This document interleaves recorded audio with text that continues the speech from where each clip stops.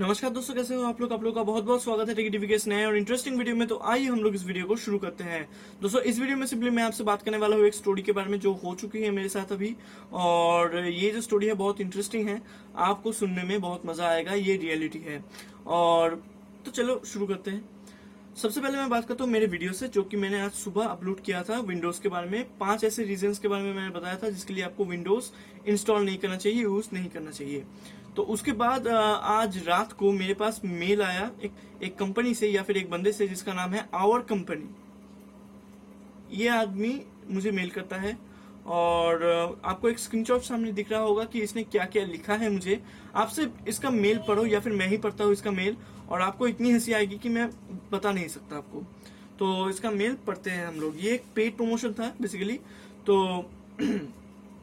Paid promotion की अगर मैं बात करूँ तो फिर पेड प्रमोशन मुझे आ चुका है कुछ चार या पाँच बार मेरे इस यूट्यूब चैनल में। और वो सब लेजिट थे लेकिन ये फेक है। कैसे फेक है मैं बताता हूँ।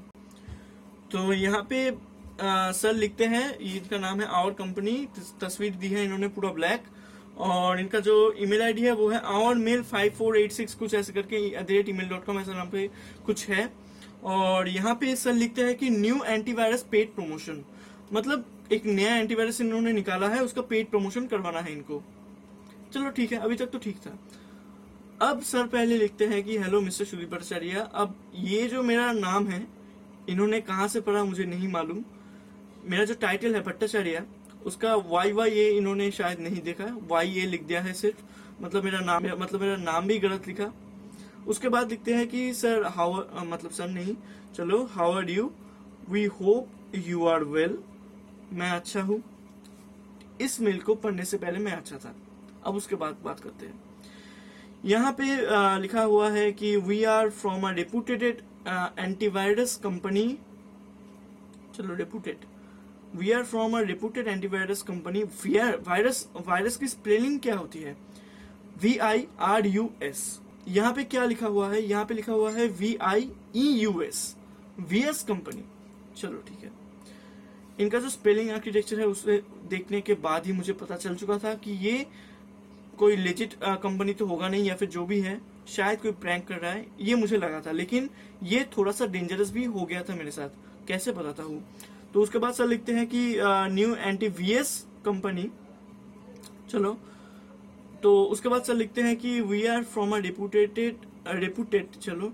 Reputed anti VS company and we visited your YouTube channel and got your mail I D from there चलो, इन्होंने मेरा यूट्यूब चैनल विज़िट किया था। वहाँ से इन्हें मेल मिला मेल आईडी जो है, मेरा बिज़नेस मेल आईडी तो उन, वहाँ से इन्होंने कलेक्ट किया वो। अब तक समझ में आता है, अब तक ठीक है। जो स्पेलिंग मिस्टेक थी, वो एक गलती हुई। दूसरा था इनका जो ब्लैक बिल्कुल ब्लैक तस्वीर वो, और तीसरा था रेपुटेड एंटीवायरस मुझे एक बात बताओ कि आपने कभी भी आवर कंपनी नाम का कोई एंटीवायरस यूज़ किया है, या फिर कभी भी आपने नाम सुना है? मैंने तो नहीं सुना। भाई, मैंने बहुत कोर्स किया है कंप्यूटर का, मैंने कभी भी आवर कंपनी नाम का कोई रिपोर्टेड एंटीवायरस नहीं सुना इसका नाम। तो ये शक के दायरे में तभी आ चुके थे, सर। उसके बाद सर लिखते हैं, क्या देखते हूँ मैं। तो यहाँ पे सर लिखते हैं कि, sir we recently launch our new anti virus यहाँ पे वायरस स्पेलिंग ठीक लिखा है। पहले था ये वीएस वीएस से वायरस हो गया। चलो, ठीक है।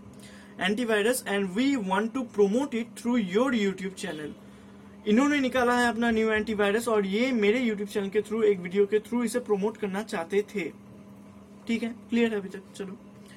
अब सर लिखते हैं we are giving you a link with this mail and you can download it from your verified website sir को इंग्लिश की कोई नॉलेज नहीं है। इन्हें इंग्लिश की कोई नॉलेज नहीं है। ये लिखते हैं कि we recently launch our new antivirus and we want to promote it through your YouTube channel we are giving you a link with this mail and you can download it from your verified website मेरी भी कोई verified website है, अब बताइए। इनकी verified website होगी तो तो इनकी वेरीफाइड वेबसाइट से मुझे डाउनलोड करना पड़ेगा, लेकिन इन्होंने मेरी वेरीफाइड मेरी वेरीफाइड वेबसाइट के बारे में कह दिया। इन्हें कंस्ट्रक्शन इंग्लिश का तो नॉलेज है ही नहीं, छोड़ो, और स्पेलिंग का भी कोई नॉलेज नहीं है, चलो। अब सर क्या लिखते हैं? देखते हैं।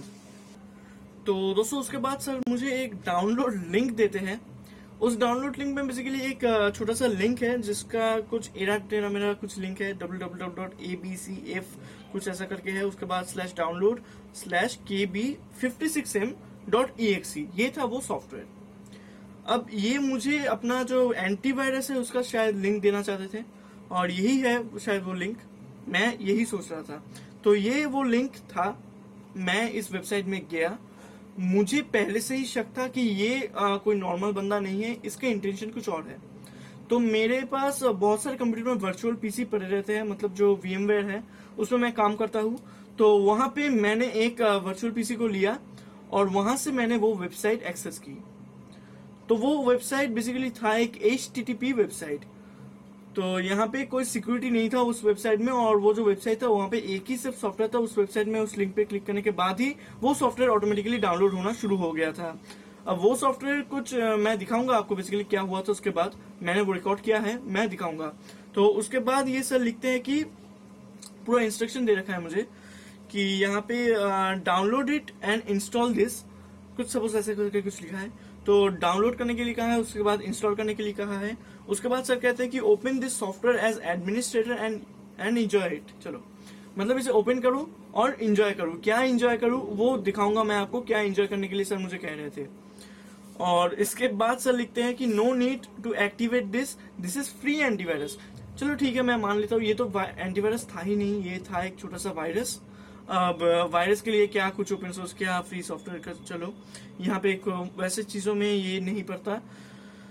अगला चीज़ जो सर लिखते हैं सर लिखते हैं यहाँ पे we shall pay you nine hundred dollar for review this या फिर ऐसा कुछ लिखा है। तो यहाँ पे 900 डॉलर मुझे ये पे करेंगे एक रिव्यू के लिए, वो भी एक फ्री एंटीवायरस का। ये मज़ाक वाली बात लगती है कि नहीं, आपको बताइए। तो ये बेसिकली एक मज़ाक था। इन्होंने मेरे साथ किया है या पता नहीं क्या था ये, लेकिन जो इसके बाद जो हुआ, वो मज़ाक बिल्कुल भी नहीं था, वो एक सीरियस मुद्दा था। और मैं वो भी आपको दिखाऊँगा, चलो।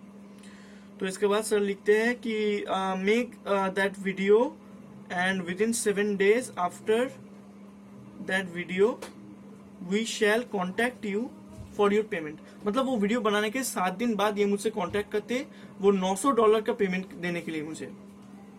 तो यही था। तो मुझे समझ में आ चुका था कि ये कुछ गड़बड़ है इसमें। तो इसलिए मैंने अपना ओरिजिनल जो ओएस था उसमें इसे ट्राई नहीं किया।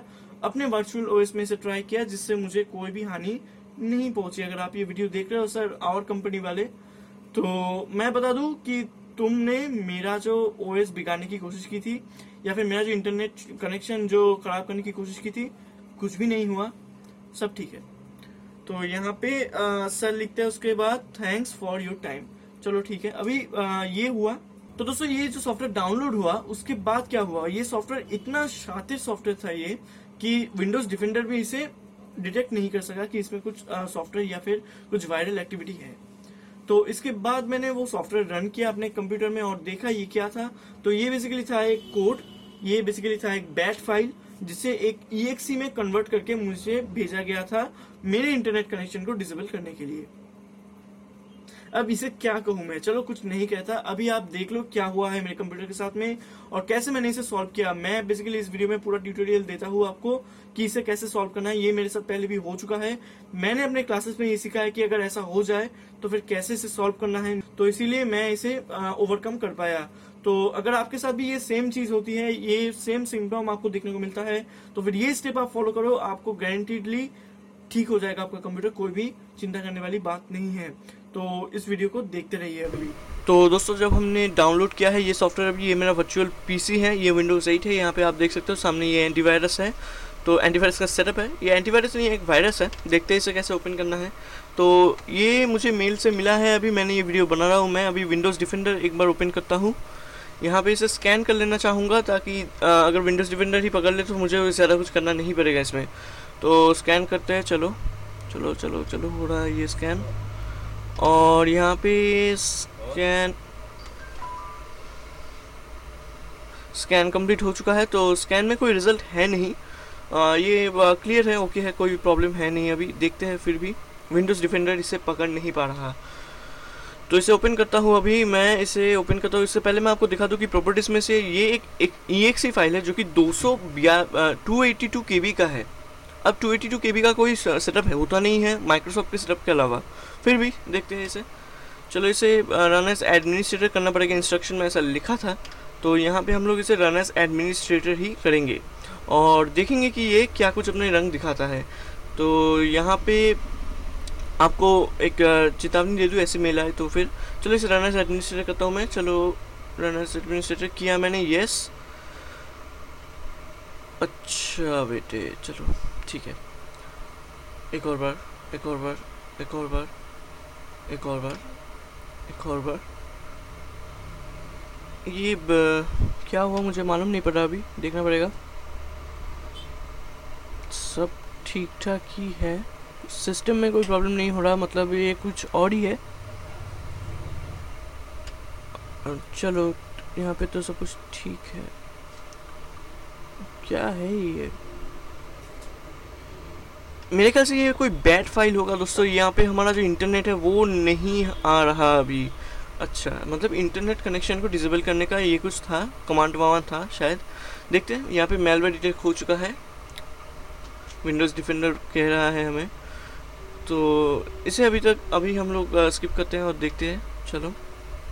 इंटरनेट ओपन हो रहा है कि नहीं? गूगल डॉट कॉम नहीं इंटरनेट नहीं है। तो यहाँ पे मेरे ख्याल से ये एक बैड फ़ाइल है, जिसके ज़रिए मेरा इंटरनेट कनेक्शन जो है वो डिसेबल किया गया है टेम्परेली तो यहाँ पे इसे फिक्स किया जा सकता है मेरे ख्याल से। चलो, मैं अपनी लॉगिन आईडी में घुसने की कोशिश करता हूँ। काम नहीं कर रहा। काम बिल्कुल नहीं कर रहा चलो इसे फिक्स करते हैं दोस्तों। दोस्तों इस प्रॉब्लम को ओवरकम करने के लिए सिंपली आपको पहले ओपन कर, करना पड़ेगा C M D Windows R दबाओ उसके बाद सी एम डी लिख के इंटर दबाओ। रन में जाके सी एम डी दबा के इंटर दबाओ तो यहाँ पे डॉस खुल जाएगा। डॉस में आपको लिखना है सिंपल एक कमांड जो मैंने सीखा था अपने क्लासेस में। वो कमांड है simply I P config I P C O N F I G slash दे दो एक और उसके बाद लिखना R E N E W renew लिख के इंटर दबा दो तो यहाँ पे आपका जो विंडोज़ का आईपी कॉन्फ़िगरेशन है, वो रिन्यू हो जाएगा। तो मेरा आईपी एड्रेस यहाँ पे सेंसर है, मैंने ढक रखा है, आपको नहीं दिखा सकता मैं। तो यहाँ पे जो कॉन्फ़िगरेशन है, वो ठीक हो जाएगा। इसके बाद आप सिंपली इंटरनेट मेरे ख्याल से एक्सेस कर सकोगे। तो यहाँ पे मैं क्रोम ओपन करता हूँ, और यहाँ पे गूगल एक मिनट पहले मैं अपना जो आईपी एड्रेस है, वहाँ पे लॉगिन कर देता हूँ अपने सर्वर में। तो ये भी थोड़ा सा सेंसर हो जाएगा। ये मैं नहीं दिखा पाऊँगा आपको चलो। तो यहाँ पे मैं देखते हैं वो डाउनलोड हो रहा है कि नहीं। आई I मीन mean, उस साइट में मैं एक्सेस कर सकता हूँ अभी या नहीं। तो यहाँ पे प्रॉक्सी स्क्रिप्ट जो डाउनलोड होना चालू हो चुका है तो इसके बाद काम करेगा। चलो आ चुका है। मतलब अब मेरा इंटरनेट इंटरनेट कनेक्शन जो था वो बिल्कुल ठीक है। अब यहाँ पे गूगल एक्सेस करता हूँ मैं। देखता हूँ गूगल ठीक से काम कर रहा है भी या नहीं। तो गूगल एक्सेस कर सकते हैं हम। तो यही था मेथड अगर आपके साथ भी यही होता है तो आप भी यही स्टेप्स फॉलो कीजिएगा, आपका कंप्यूटर ठीक हो जाएगा। थैंक यू दोस्तों, आज मैं आप, दोस्तों, आज बेसिकली मैं आपसे कोई लाइक की एम नहीं रखूँगा सब्सक्राइब करने के लिए नहीं कहूँगा, लेकिन बोलूँगा इसे ज़्यादा से ज़्यादा इस वीडियो को शेयर करो, ताकि अगर ऐसा ही मेल किसी और को भी मिले तो वो भी इस प्रॉब्लम को ओवरकम कर सके और उसे कोई हार्म ना हो।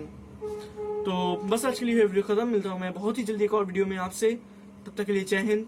बंदे मातरम